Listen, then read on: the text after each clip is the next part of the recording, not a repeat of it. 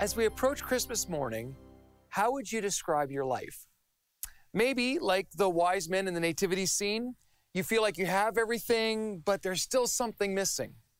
Or maybe, like the angels, you're filled with joy at the announcement of what Jesus did for us. Or maybe you're like the shepherds, you feel like you're on the outside looking in. But today I want to focus on Mary, because I think most of us, if we're totally honest, would feel like we're just kind of normal, common, maybe even insignificant. And I think Mary kind of felt that way too. See, she was just a small town girl from a small, sleepy little village with really simple dreams just to have children, live a life that was filled with some happiness and joy. But everything is about to change on that very first Christmas. In Luke 1:26, it says, God sent the angel Gabriel to Nazareth, a town in Galilee, to a virgin pledged to be married to a man named Joseph, a descendant of David, and the virgin's name was Mary.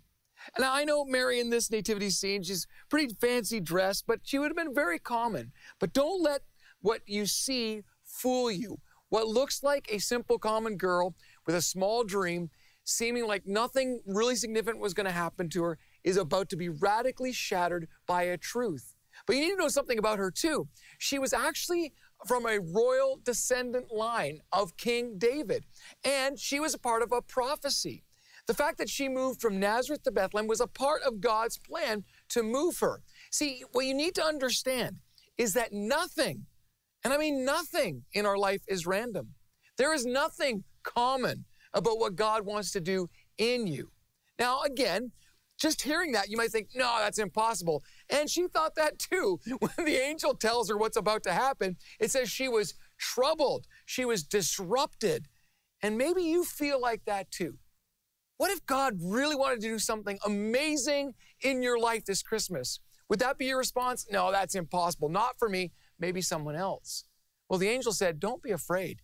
You have found favor with God. God knows and He cares about you, and He is with you, and He's doing something in you. Well, so how did Mary navigate her situation? Well, she just accepted it. She accepted what God had said and was willing to obey with great courage. Her own words were, May it be to me as you have said. So, how about you? Are you ready for God to do something in your life this Christmas?